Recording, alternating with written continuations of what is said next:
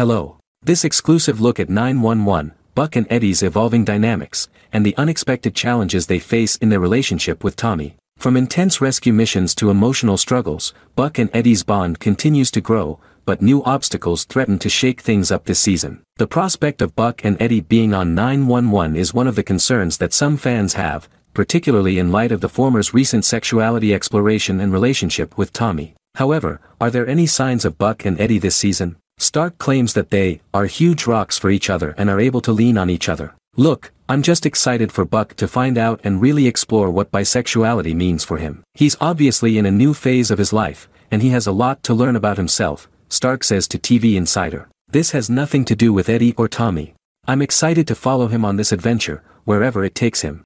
I know it will be fulfilling and feel authentic to the role. Although Buck and Tommy's relationship is now going well, executive producer Tim Minear suggests that they may face unforeseen challenges in the future. The season begins with a young relationship and little knowledge of each other. I do think that baggage comes with people as they start to discover new things, says Stark. He goes on, and I think that initially, it's easy to assume, oh, this new relationship is so great, and this person has no baggage. And as you get to know someone better, you realize that everyone has baggage.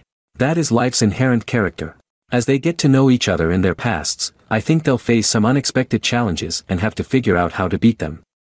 Would you like Buck and Eddie to go there with 9.1.1? This season, what do you want to see with Buck and Tommy? Please share your thoughts in the comments section below. Thank you for watching.